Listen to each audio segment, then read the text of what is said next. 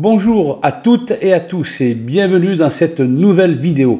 Alors, avant tout, j'espère que vous vous portez très bien. Aujourd'hui, nous plongeons toujours dans l'univers d'Excel, cet outil puissant qui, utilisé, peut transformer votre façon de travailler. Que vous soyez débutant ou utilisateur avancé, restez avec moi car nous allons découvrir des fonctionnalités et des astuces qui pourraient bien révolutionner votre quotidien professionnel. Nous allons explorer ensemble des fonctions méconnues, des astuces de pro et des techniques avancées pour tirer le meilleur parti d'Excel. Alors juste pour rappel, je travaille sur Office 365. Il est possible que euh, vous ne possédez pas certaines fonctions que je vais utiliser. Pour les avoir, bien sûr, il faut avoir soit Office 365 et vous inscrire à Office Insider version bêta. Avec cette option, vous aurez toutes les nouveautés en faisant une mise à jour régulière. Comment faire? C'est très simple. Vous irez sur Fichier, une fois bien sûr que vous aurez Office 365, Compte, et ici vous avez Microsoft 365 Insider. Là, modifiez le canal, et ici vous prenez Canal Bêta, et vous cliquez sur, en acceptant bien sûr, vous cliquez sur OK. Et bien sûr, vous ferez une mise à jour. À partir de là, vous aurez toutes les nouveautés. Prêt à devenir un véritable maître d'Excel? C'est parti Avec euh, l'exemple premier euh, qui se trouve dans l'onglet Choisir colonne, nous allons découvrir une fonction euh, très récente qui s'appelle Choisir colonne. À quoi sert-elle? Eh bien c'est très simple, elle sert en fait à répliquer ce tableau, mais en choisissant les colonnes de notre choix. Je vais commencer. Alors, je pourrais en effet passer par choisir colonne et prendre, aussi des titres. CTRL SHIFT, touche directionnelle du bas, touche directionnelle de droite, afin de sélectionner tout, euh, tout ce tableau, point virgule, et là, je, je, choisis les colonnes que je souhaite répliquer. Donc là, moi, je veux la colonne client qui se trouve dans la deuxième colonne, point virgule. Je veux aussi les chiffres d'affaires qui se trouvent dans la septième colonne, point virgule, et je souhaite aussi la huitième colonne qui est représentée par les commerciaux, 8, et je fais entrer. Alors, je vais éviter de prendre les titres, je souhaiterais en fait euh, copier-coller les titres et je ne les incorporerai pas euh, à ma fonction. Donc je recommence. Et ici je vais sélectionner client, je laisse mon nom enfoncé sur la touche contrôle, j'ai dit chiffre d'affaires et commercial. Je laisse toujours mon nom enfoncé.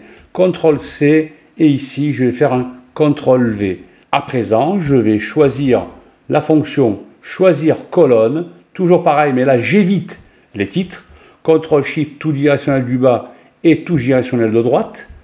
Et là, j'ai dit que je prenais la deuxième colonne, point virgule, la septième, point virgule, et la huitième. Je fais entrer. Si bien sûr vous souhaitez, rendre votre travail dynamique, c'est-à-dire que si j'ai des nouvelles données, euh, je souhaite les voir incorporées dans mon nouveau tableau.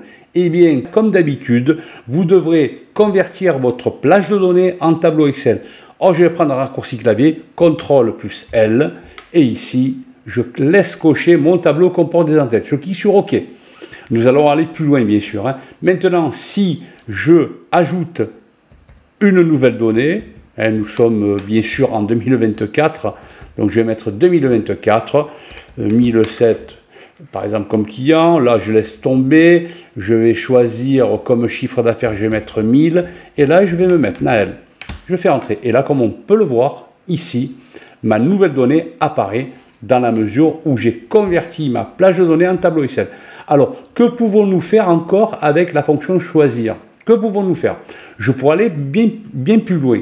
Par exemple, ici, je souhaiterais trier par valeur de chiffre d'affaires. C'est-à-dire, je souhaite avoir du plus gros au plus petit, ou du plus petit au plus gros.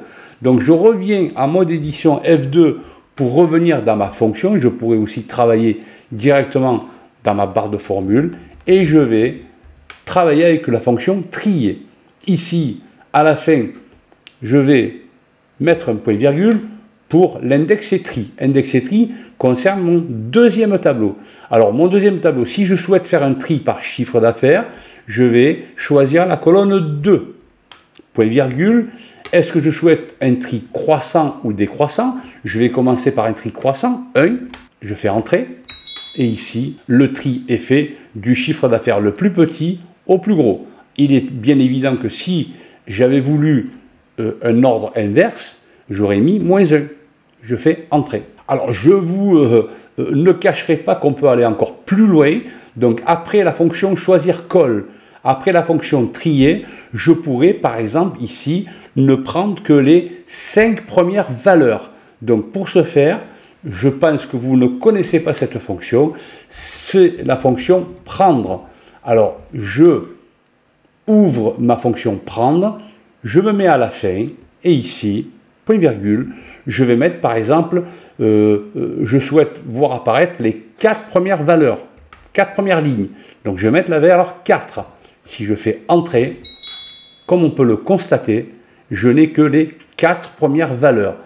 Il est évident que j'aurais pu avoir les quatre dernières valeurs. Donc à partir de là, j'aurais mis moins 4. Dans cet exemple, nous avons vu tout de même trois fonctions. La fonction choisir colle colonne, la fonction trier et la fonction prendre. Passons à présent à l'onglet suivant, pourcentage 2. Alors connaissez-vous la fonction pourcentage 2 Par exemple, si je souhaite avoir le pourcentage de chaque vendeur par rapport au total, donc j'aurais dû au préalable faire une somme de toutes ces valeurs, je fais entrer, et ensuite j'aurais pu sélectionner toutes ces cellules égale cette valeur divisée par le total et je dois figer cette cellule, contrôle entrée, j'aurai bien sûr eu le pourcentage de chaque vendeur par rapport à son total. Alors, moi je considère que c'est quand même assez long comme, comme façon de faire. Donc je vais vous proposer une autre fonction qui s'appelle pourcentage 2. Nous allons donc travailler d'une autre façon beaucoup plus simple et beaucoup plus rapide avec la fonction pourcentage 2. Pour ce faire, je vais sélectionner toutes ces cellules, égale, je fais appel à la fonction pourcentage 2, je sélectionne cette cellule, point virgule, et data all, tu vas me le comparer par rapport à toutes ces cellules. Là, bien sûr, je dois faire F4 pour figer, et ici, contrôle entrée c'est beaucoup plus simple que de mettre une somme et de faire une division pour chaque ligne. Je vais donc passer à l'onglet suivant. Alors, si vous souhaitez faire des filtres, des tris, rien de plus simple. Je vais me mettre dans l'onglet Données et ici Filtrer. Nous avons à présent des toupies qui nous permettent de trier euh, par commercial par exemple ou tout autre euh, euh, tri. Alors moi je ne vais pas travailler comme cela je vais travailler avec des segments. Pour avoir ce type de segment, vous allez devoir transformer, convertir votre plage de données en tableau Excel. CTRL L, raccourci clavier, pour faire appel à la création de tableau. Ici, je clique sur OK. Et à présent, j'ai bien un tableau Excel. Et ici, vous voyez, j'ai création de tableau. Un nouvel onglet apparaît. Je vais cliquer dessus. Et là, je vais choisir insérer un segment. Ici, je vais choisir vendeur et je clique sur OK. Alors, je vais le mettre sur deux lignes. Donc, pour ce faire, vous avez en sélectionnant le segment, vous avez un onglet segment. Alors, ici, je pourrais changer de couleur. Par exemple, je vais le prendre de cette couleur. Et là, je vais mettre sur, pourquoi pas, euh, deux colonnes. Donc ici, je vais bien sûr, et là, je vais le caser ici. Maintenant, je peux faire aisément des filtres par exemple ici, commercial 1, je n'aurai que le commercial 1. Si je souhaite avoir deux commerciaux, je vais cliquer sur la touche contrôle et je sélectionne les deux commerciaux. Pour retirer les filtres, je vais cliquer sur cette petite entonnoir où il y a une croix et là, le filtre est enlevé. Je vous propose de rester avec moi pour le dernier exemple et là vous allez être assez surpris et bluffé.